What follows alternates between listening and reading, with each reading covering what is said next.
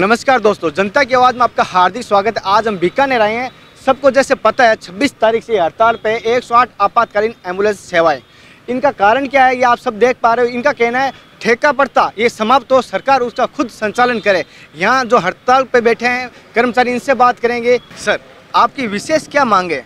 हमारी विशेष मांग ये है मुख्यमंत्री जी से कि जो इतने दिनों से, इतने सालों से, दस सालों से ठेका प्रथा से चल रहे हैं हम कर्मचारी। हम ये चाहते हैं कि मुख्यमंत्री जी जो हैं जो कर्मचारियों को सरकार अपने अंडर में ले, और जो एंबुलेंस का मैनेजमेंट है, वो चाहे किसी कंपनी को दो, दे, हमें उससे वो नहीं है। हम चाहते हैं कि जो हमारे कर्मचारी हैं, ह्यूमन को आप ठेके पे ना दें।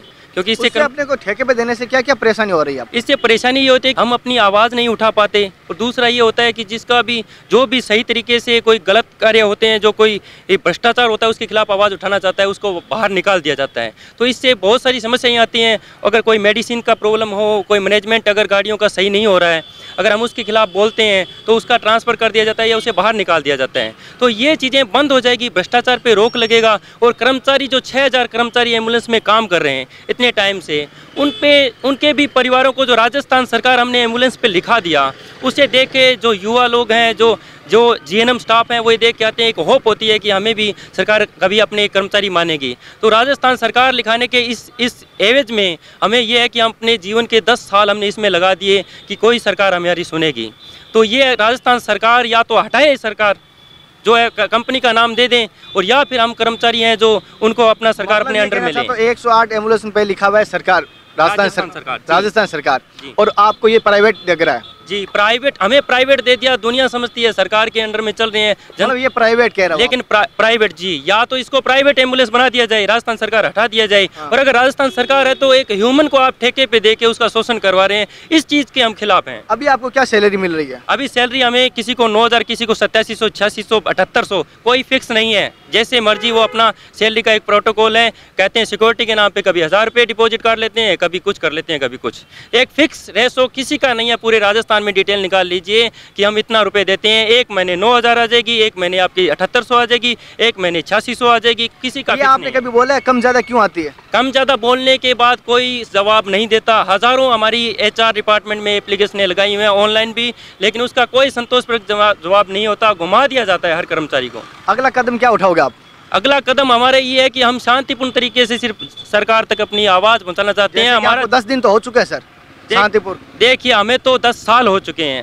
नहीं अभी जैसे आप यहाँ पे धरने पे हो दस दिन तो आपको देख रहे हो मैं हो गया। लेकिन आपको कहीं सुनवाई नहीं हुई। आगे आपका कदम क्या चेंज होगा यही रहेगा। हमें पता है, राजस्थान सरकार संवेदनशील है, वो संवेदनहीन नहीं है, हमारी आवाज़ ज़रूर सुनेगी, हमें विश्वास है, हम गाड़ियाँ बंद नहीं करना चाहते, जनता को नहीं मारना चाहते, हमें पता है, कभी ना कभी तो आवाज़ ज़रूर पहुंचेगी उन तक, और वो इस बात को समझेंगे, हम यहीं हैं बैठे हुए, और हमारा धरना चलता रहेगा, ये जंग खत्म नहीं होगी जब तक हमारी आवाज़ को माना नहीं जाएगा। आम जनता को आप कैसे, क्या कहना चाहोगे? आम जनता से आप क्या सपोर्ट चाहते हो?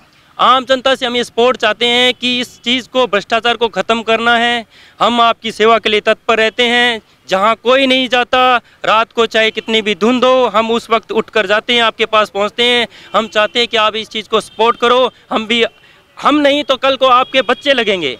इसमें राजस्थान सरकार के लिखे हुए चक्कर में आप अपने बच्चों से भी उम्मीद रखते हैं कि वो यहाँ लगें। आप हम छः हज़ार परिवारों का ना सोचें, आपके बच्चों का भी भविष्य इससे जुड़ा हुआ है, उनकी ज़िंदगियाँ जुड़ी हुई है, कोई भी एक्सीडेंट होता है उसको हम उठाते हैं। आप इस चीज़ को समझते हैं, ऐसी सेवा को जो जीवन रक्षक सेवा है उसको ठेके पर दे के हम अपने जीवन और हमारा भी जीवन खतरे में है, इस चीज़ को समझिए और आप सपोर्ट कीजिए इसको, ताकि आप भी ये सोचिए कि आपका बच्चा अगर 108 में लगा हुआ है, जो मौत अपने हाथ में लेकर आपकी जान को बचाना चाहता है उसके सपोर्ट में आइए कि उन्हें इंसाफ मिले ह्यूमन को ठेके पे देना बंद कीजिए ये उनका शोषण है उनके साथ अन्याय है।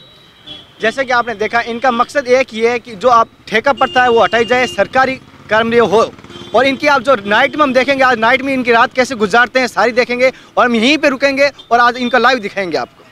जनता से हम यही कहना चाहते हैं कि हमारे जो साथी हैं वो दिन रात आपकी सेवा में रहते हैं। हम ये नहीं देखते कि उस सड़क पे एक्सीडेंट हुआ, आदमी गरीब है या अमीर है। लेकिन हमारे साथियों का मेंटली प्रेशर अब डाउन हो रहा है। हम बुरी हालातों से गुजर रहे हैं। जनता से उम्मीद करते हैं कि जिस जिस प्रकार से हम जनता की उम्मीद करते हैं जनता की सेवा करते हैं उसी प्रकार से जनता से उम्मीद कर रहे हैं कि जनता हमारा समर्थन करे और हमें न्याय दिलवाए कि हमारे 12 घंटे की ड्यूटी हमारे कर्मचारियों को जैसे 40-40 साल की उम्र के हो चुके हैं उनको हटा दिया गया है। जब मर्ज़ी कंपनी हटा देती है उसको दोबारा लिया जाए और हमारे ठेका प्रथा से मुक्ति करके और हमें एक अच्छा जीवन जीने के लिए सरकार प्रदान करे जैसे कि सबको पता आपातकालीन सेवा अगर नहीं हो तो आप आप समझ पा रहे हो आम जीवन पर कितना असर पड़ेगा और आए दिन हादसे भी होते हैं और हम 108 पे कॉल भी करते हैं। सर एक और मैं कहना चाहता हूँ। अगर जैसे आपने सेवाएँ चालू रखी है क्या इसका कुछ सरकार पर असर पड़ेगा? सरकार पर असर भी पड़ेगा और उसका हमें पॉजिटिव न्यूज़ भी मिल रहा है। क्योंकि जब भी हम किसी भी जनप्रतिनिधि से मिलते हैं तो वो ये कहते हैं कि हमारे पास में आप जनप्रतिनिधि की बात याद दिलाई। यहाँ पे कोई जनप्रतिनिधि आया जिनको आपने वोट दिया हो? बिल्कुल जी आए हैं। कौन सा जनप्रतिनिधि आपके पास आए थे? एमएलए साहब आए सांसद आए कौन आए? सांसद आए? मंत्री महोदय आए थे। कौन से मंत्री? B D Kalla ji. B D Kalla ji. क्या बोले थे?